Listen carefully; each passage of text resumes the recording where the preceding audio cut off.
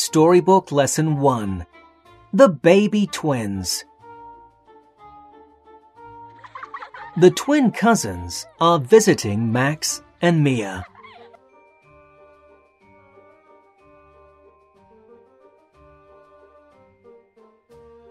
The babies are having breakfast. The baby twins are naughty.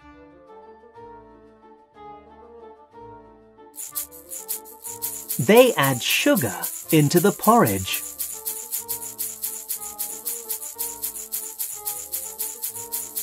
The twins add salt. They add pepper. They add ketchup.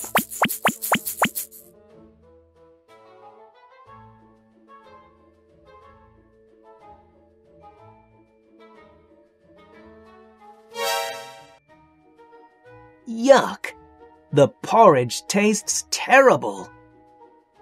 Luckily, there is still plenty of porridge in the pot.